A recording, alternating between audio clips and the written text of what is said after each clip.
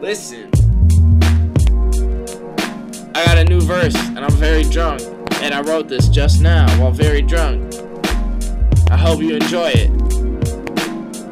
Fuck myself, put life on a high shelf, forget about it. I'ma let a girl take it down as the usual.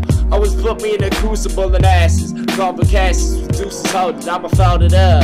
Origami, roll the blunts and grow with suds and bubbly in a pink ceramic tub. And I blink until I throw up.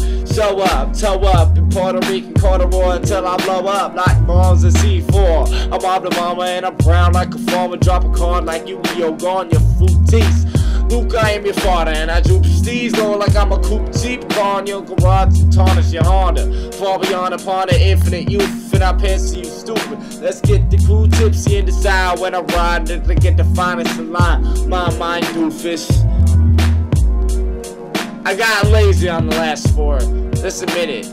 I did.